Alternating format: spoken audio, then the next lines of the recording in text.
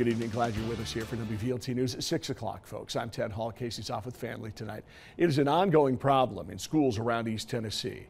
There's a teacher shortage and staff. Just last month, Knox County schools needed to fill more than 250 teaching positions, teachers and assistants and tutors.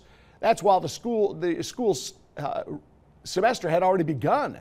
Now they've been working to fill these spots. They say around the clock, and they've added almost 200 already. Here's our Ellie Bird. So as of this morning, we have fewer than 80 teaching vacancies across the district. Um, more than half of our schools have no teaching vacancies.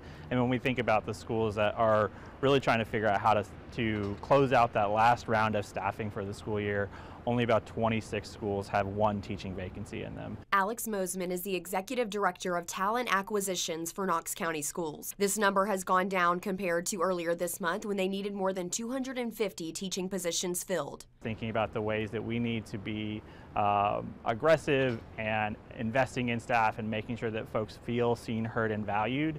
And so trying to think about what are those specific investments that KCS needs to do to make sure that we're attracting folks into not just the teaching profession, but working with all of our students. What do they need most? Math teachers, special education teachers, bus drivers, and more. They are offering signing bonuses for specialty teachers. For math, it's $5,000, and special ed, it's $7,000.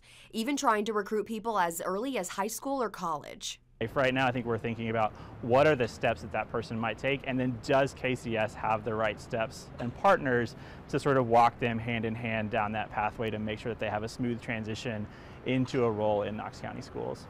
26 schools in the district have only one teacher vacancy. Mosman tells me the open positions don't affect students' learning. In Knoxville, I'm Ellie Bird, WVLT News.